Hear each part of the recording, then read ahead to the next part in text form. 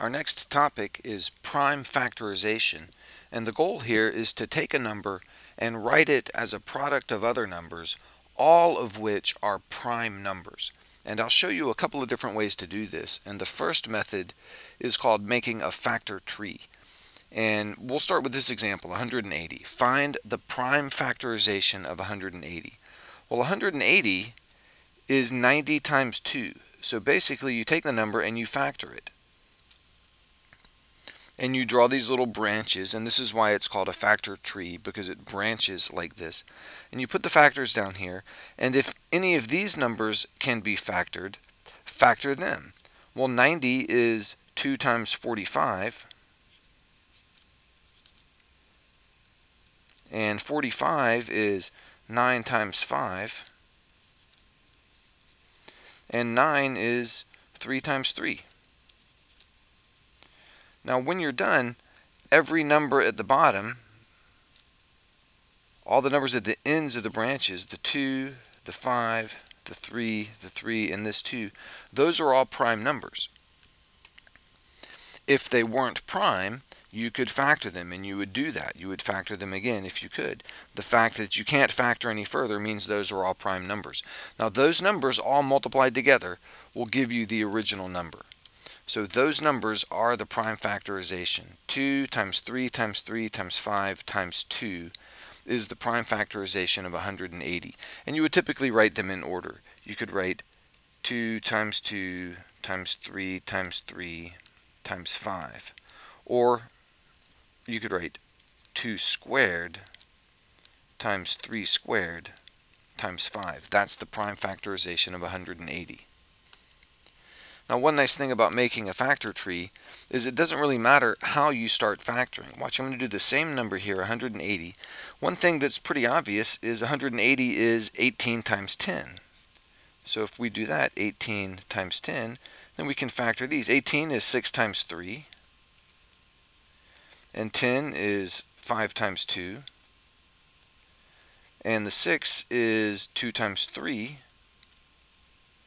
and now all of these numbers at the ends are prime numbers. They can't be factored. And look what we have. A 2, a 3, another 3, a 5, and another 2.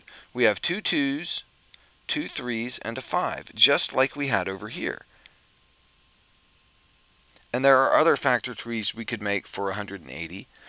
But the point is they would all end up with this same prime factorization. Two 2's, two threes, and a five all multiplied together. And because the order doesn't matter when we multiply, we say there is one answer to the problem. This isn't two different answers that I've shown you here. This is two different ways of arriving at the one answer. That is the prime factorization of 180.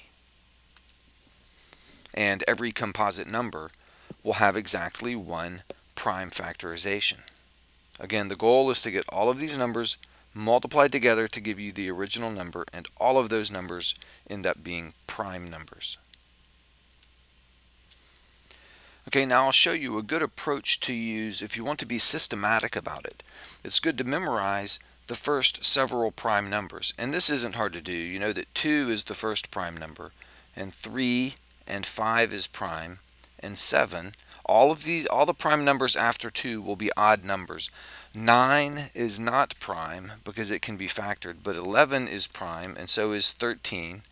And that's probably enough, 17, 19. But what we'll do, we'll do a prime factorization, and we'll be starting with the number 2 and working our way down this list.